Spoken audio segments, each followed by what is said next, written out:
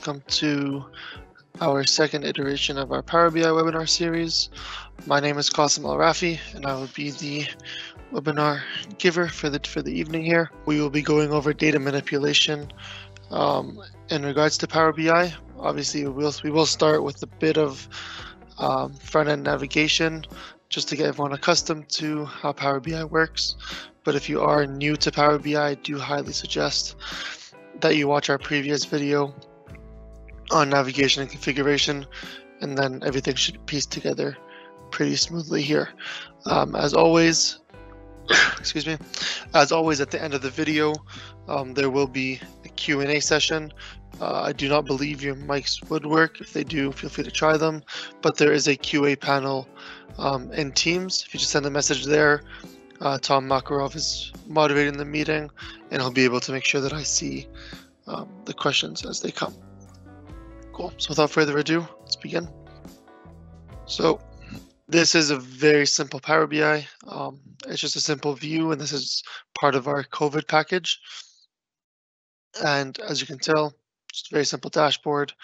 And just to get into some of the front-end navigation really quickly here, much like other Microsoft products, you have the tabs up here, home, insert modeling, just like Excel and Word, where each of them have a different subset of, uh, of buttons and functions. Whereas the home tab, you have more of the commonly used um, functions. The insert tab, more of the visual stuff. Modeling, more of the actual backend navigation, and so on and so forth. You have your filters, your visuals, and your fields and obviously your main report pane. And then just like Excel as well, you can have different sheets. You can rename rename them here, duplicate, delete. Uh, anything really front end is done here. Now, I'm not going to go over too too much because that was the last video, so feel free to check our YouTube videos, our YouTube channel for all the webinars that we are putting out. Then you have the data pane, which allows you just to see the, the data in a, in a snippet.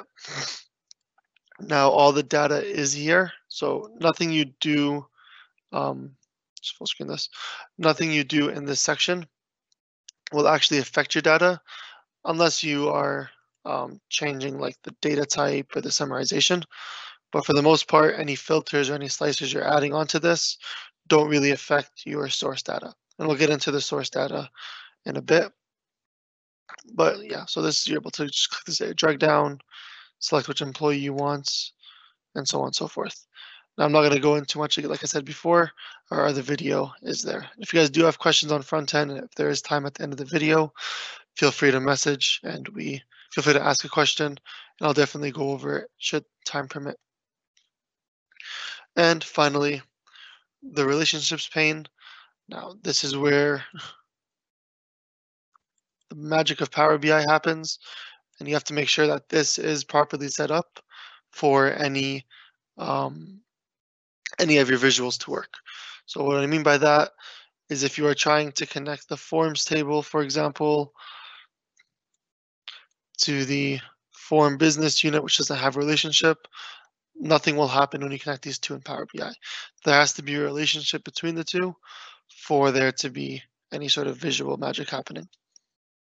Now, automatically, Power BI does try its best to auto place uh, fields together. Now, this would work in most situations. Sometimes it actually is for the worst. Um, instead of, for example, prioritizing form tasks, it might prioritize form task status code instead. So you have to really, before you get into the visual of things, go through this and make sure that everything you need is set up properly. So that's sort of the front end navigation, very quick, very simple. Like I said, should you guys have any questions, feel free to message QA, message our support email, or check out the previous video in uh, on our YouTube channel. So today's webinar is going to be mainly about this transform data button. It might be called edit queries, um, depending on what version of Power BI you're running. I'm running the newest and greatest, so it says transform data. So let's get into it a pop-up will appear and this is a bit more, this is very similar to the data data pane and the other front-end navigation with just a lot more features. So automatically you can tell that the tabs are still here, but there are new functions, right? So I'll quickly go over some of the functions that you will use. Now, as currently not every um, field that I want out of my ITRAK system is properly pulled out. So if I do go to recent sources, you click more. Unfortunately, this is a new computer, but you would see your your most recent sources here. So let's say you have employees and form employees, but you wanted to extract the um, form people table, for example. You would click recent sources, go here, click your Dynamics tab, your OData or your SQL, and then pull out the tables you need. Now let's say this is your first time using your data, you would actually click new source. And I mentioned this in the previous video. You click SQL, text, Excel, whatever you want. If you can't find it in these in here, you'd go to more, and then a pop-up will open up with more options on how to connect your data. And then this last one would be enter data. So just as an example, and I'll show you what I did for the enter data um, the status code form task. So if you are pulling out the metadata of your ITRAK um, system, you may see you may see some of these values like 579950004, just these random GUIDs or these random uh, option sets that are attached to the actual text. Now, unfortunately, if the we do have a global option metaset table, um, but depending on what version you want, this may not be accessible to you. So for any of our SQL clients, this should be available. Um, but if you are on OData or using CRM's OData, doesn't always work. So a way I get around that is I'll press enter data and you're actually able to just to create a very pseudo uh, pseudo table. This doesn't work if you're inputting 100, 100 rows, but if it's something as simple as saying test value is equal to Tom, for example, and then employee option set equal to one. And then, for example, Darren is equal to two. So now when you open this, you now have you now have a new table that will appear. I think I just called mine table, it's just loading over here. And then you're able to connect this to your other main tables and then just do a quick lookup, or you can actually merge the tables together and I'll get into how to do that. That way, whenever you see this one or two, you can actually just expand it. So instead of seeing one and two, you now see Tom and Darren. Um, because you're trying to make it as visual as possible, as easy for the front end people to to work with. So if you do have any of these random GUIDs, it's not the best. You have your data source settings. You have to make sure that you're connecting to your data properly. All right, so if I click here, should tell me. If I click change source, you're able to change the, the URL if you didn't do it correctly.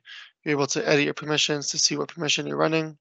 So if you're using SQL, um, you'd never want to use organizational account. You mainly want to use, I believe it's basic.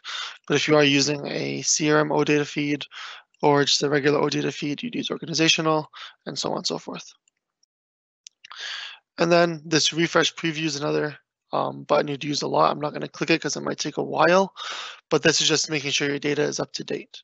So for example, let's say I know the forms table um, isn't properly used and you're running on an older laptop or an older computer, obviously the forms is run a lot, but just an example, you can actually remove this by saying include in report refresh.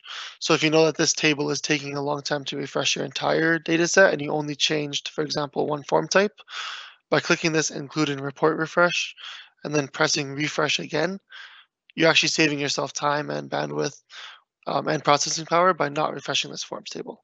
So something to know as your data set properly grows reset that. I'll get into the advanced editor at the very end, but that's where the bread and butter of uh, of Power BI happens. And then all of these things, uh, choose columns, remove rows, so on and so forth, can be done just right clicking these columns. So whether you prefer to use the home tab or just right clicking the column header, it's up to you. Um, but I'll go over through here just because it's easier to visualize. So you can choose your columns and actually a pop-up will appear saying uh, which columns you want to choose. So you can only say you only want SSN and SIN. You click OK. you'll see here that on the applied steps on the right side, it said remove other columns. And then here it says ITRAK SEN and ITRAK SSN. So any, anything you do regarding this table will appear on this right side over here. Now, let's say you made a mistake and you uh, accidentally added a step. You can actually just delete it using this X over here. Or let's say you forgot one out of the one of the one out of the three tables. So let's say one SS, SIN, SSN, and another table. Instead of deleting the query and doing it over again, you can just click this little gear icon. And this gear icon is going to be your best friend while working with data manipulation. So you click it. Say I want this column as well. Click OK. And then in a second, it should populate. Now, these are the applied steps that happen to this specific table. So you have source, this is just your sort, and it just goes on. And everything, every time you make an addition to it or make a change to it, it will actually apply here. So now let's say I'm in this company ID step. So I'm in the third step out of the fifth step. And I remove this column, for example, right? So you'll automatically get a pop-up warning saying um, you're not following the exact step order. So you, you, you're pushing in a you're pushing in a, a step that might break, break your query, query, sorry. So you're going to obviously ignore it because you think you know what you're doing. and it might work while you're going down the list. But once you get to this removed other columns, an error pops up because you removed this birthday publication column earlier. So just you have to be very mindful of the steps you're doing and you have to make sure that you are doing them in a proper order. Now just automatically getting rid of this step, you get another pop-up and then the query should load once it's finished loading. So that's the generic idea behind applied steps and some of the uh, processes up here. The rest of them are very, very self-explanatory, right? Keep top rows, keep bottom rows. And if you have played around with Power Pivot um, in Excel, very similar to that as well. You have your sort. Now, this is something I find myself using very often as well, this uh, split column. And instead of showing you guys blank data, I'm gonna, I populated a generic um, Excel sheet. Now, the split column is used a lot, especially when you have um, when you're working with your risk matrices, when you're working with um, addresses, locations, if you really want to make sure that, let's say, for example, in one column you had Canada, Calgary, and you wanted those to become two separate columns, that's what the split column does. You can split by delimiter, which is like a, a period, a colon, a semicolon, uh, split by number of characters. So if you know that, um, for example, before every valuable piece of data, there's the word error beside it, you can just say I want to split by three number of characters and so on and so forth. So it is very it is very simple. I'll show you guys this quick example. So if I click number of characters and I say I want to split by three, you can either split once. So what it will do, it will count one, two, and then three, and then split over there as far right. So one, two, three from the right side, or three going on forward. All right, so I'll just go once just for simplicity's sake. And now you see that every after every third character, it splits the column into two. So something you have to be very mindful of, especially if working with ITRAK data. This is going to be your best friend. Um, something else to mention is by changing your data type, you can either do this up here or through this little letter box at the top left.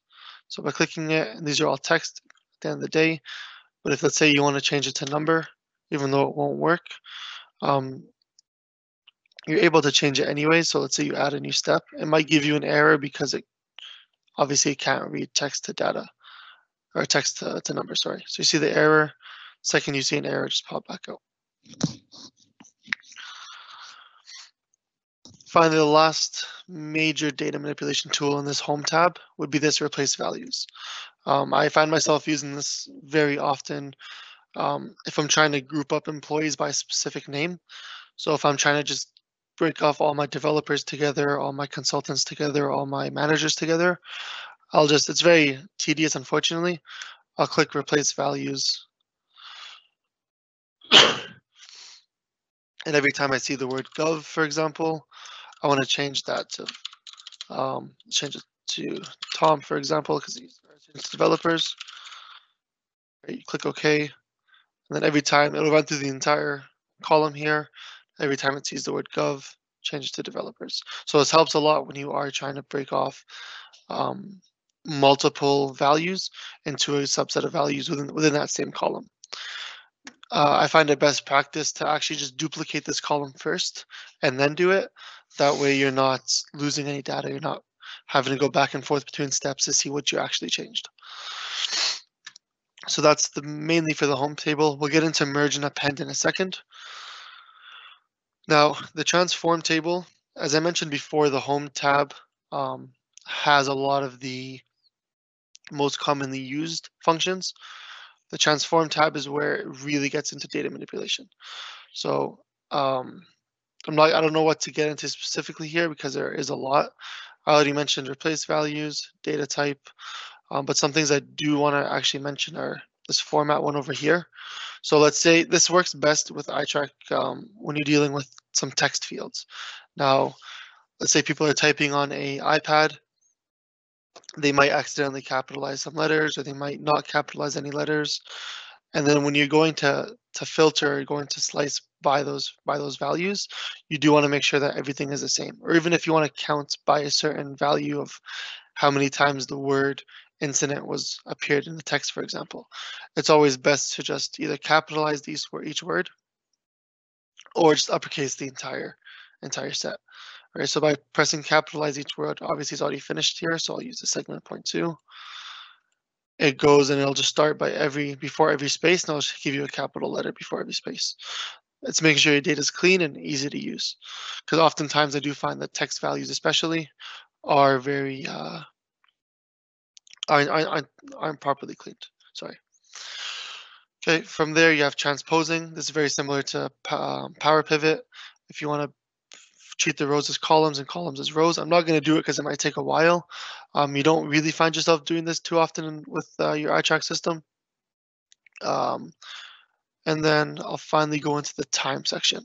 Now this is more for our clients who aren't in Canada and Calgary or Alberta, and they are in a different time time zone if you are getting your dynamics data or getting your ITRAK data and you find that your time isn't set to your local, you'd actually just find a timetable. So it's, or a time column, sorry. So we'll try to find one here. If not, so for example, this occurred date, for example, it's saying that it happened on 12 a.m. If you think that's wrong, you can click time and you can change it um, by time only, but I highly suggest going local time. That way you're making sure that the data that does come through was changed and it's properly accorded.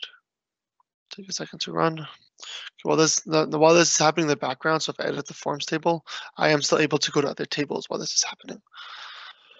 So the last thing I want to show you guys in terms of data manipulation is the, probably the most um, the most commonly used function with ITRAK are these merge and append queries. Okay, so I'll go to form tasks here.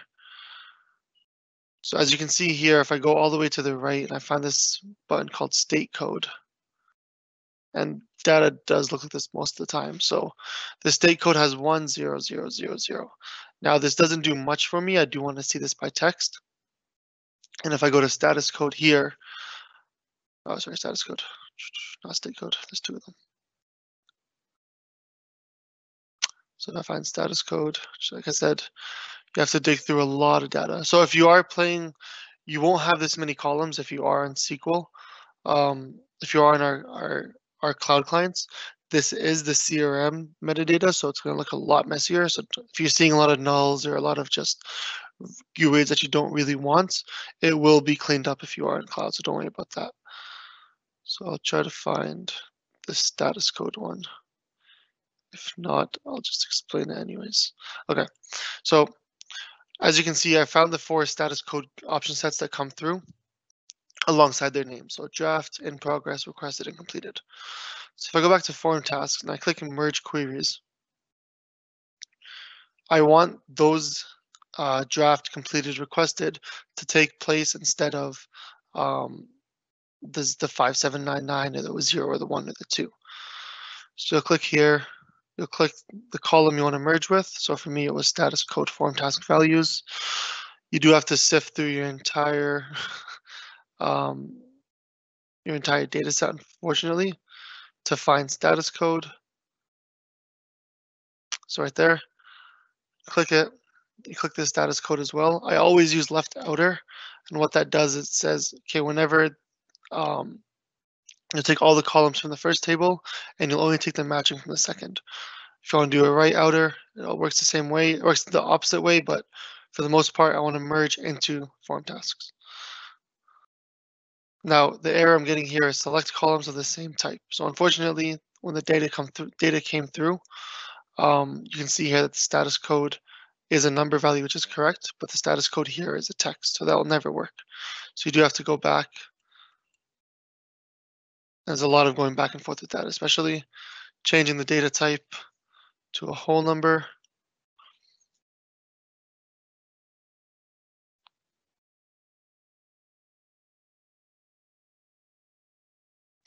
Then going back into form tasks, merge queries. And then you have to find status code again. See if I remember where it was. State code, status code.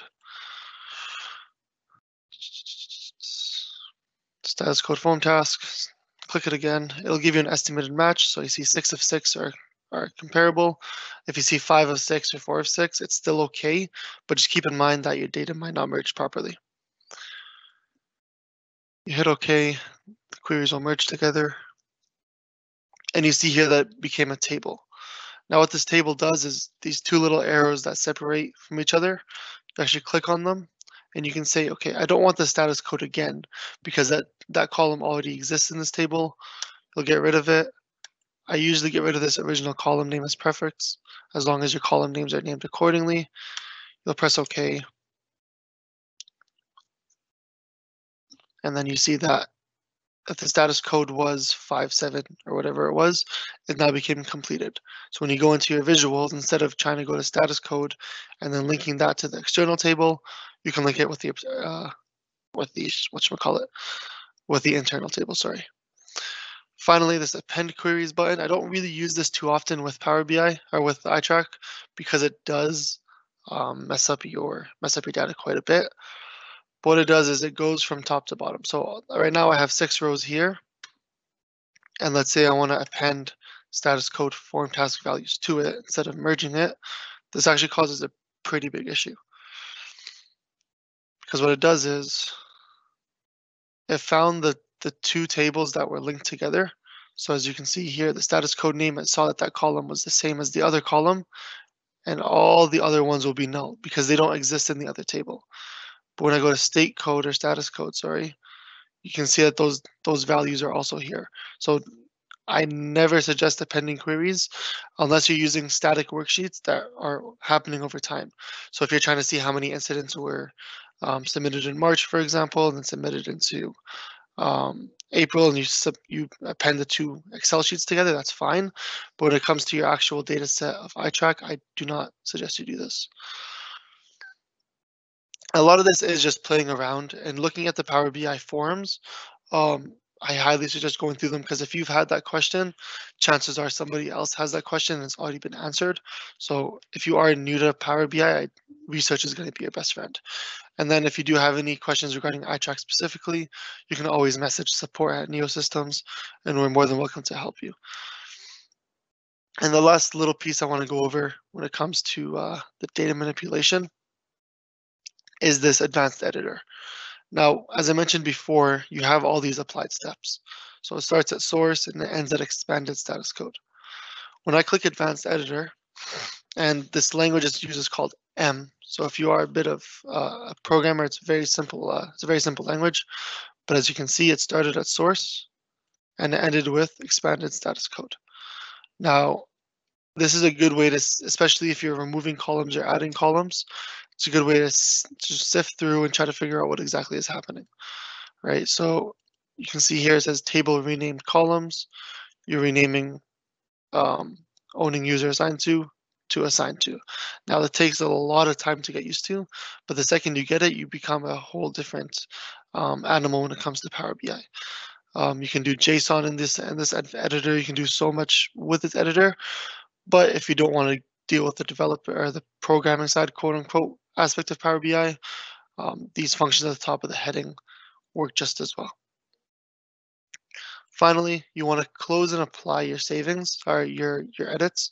Now, the bigger your data set, the longer this will unfortunately take. So if you are, let's say you are at a company and you're dedicated to a you're dedicated Power BI developer, I highly suggest you ask for a more powerful machine because I've had clients where I've had to refresh their data and it's taken um, it's taken three hours to refresh their data. Whereas when I'm when I go home and I'm working on my home computer, which is a bit more beefy, it takes about 10, 20 minutes. So if you do want to save time and be productive, I highly suggest you go into your managers and saying, hey, what I'm doing takes a lot of processing power. I do need a better machine. And if there are any errors with your query, you'll get them in this um, in this little pop-up here.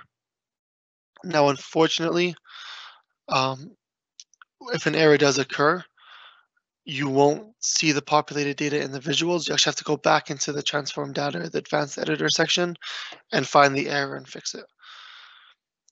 It's honestly, that's just the tip of the iceberg when it comes to the advanced editor. It does take a lot of time to get used to it.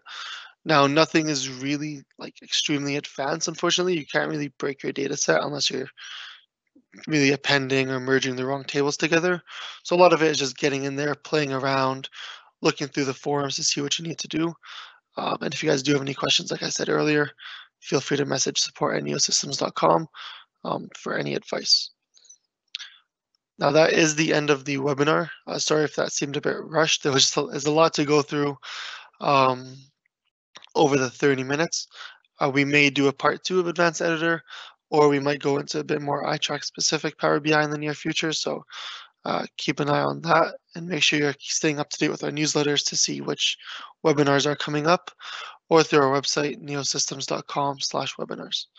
Uh, so QA is open. If you guys do have any questions, feel free to message me in the Q&A panel and I'll wait until any messages come.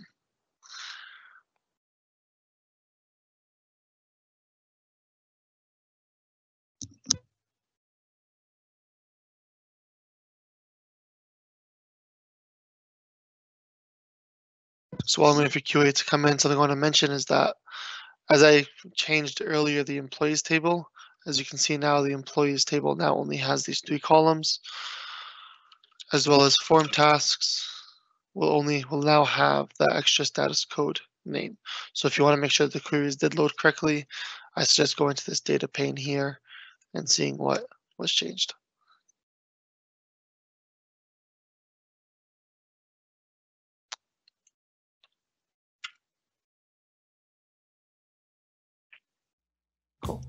So that's all for this demonstration. I'll be waiting for QA up until the top of the hour. So at 3 o'clock, the live event will be ending.